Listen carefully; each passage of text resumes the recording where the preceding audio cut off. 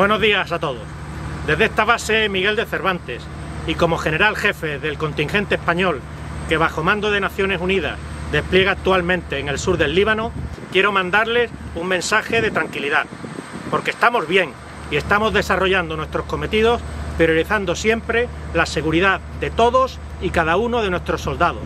Esa es mi responsabilidad y por tanto en estas circunstancias es mi mayor preocupación, porque hoy aquí nos necesitan más que nunca y por eso nos hemos preparado y por tanto sabemos cómo hacerlo.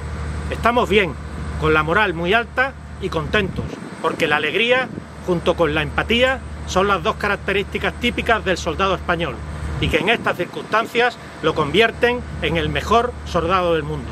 Estamos orgullosos de representar a España, porque España es un socio fiable en todas las organizaciones a las que pertenece.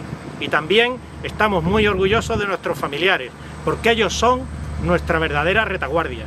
Y a ellos quiero dirigirme en estos momentos en nombre de sus hijos, de sus parejas o de sus padres, para reiterarles que estamos bien y que la seguridad es el marco donde vamos a desarrollar siempre nuestros cometidos y que nos veremos pronto, muy pronto, todos juntos de nuevo en España. Pero hasta entonces quiero mandarle un cariñoso saludo desde esta base, Miguel de Cervantes, un trozo de España en el sur del Líbano.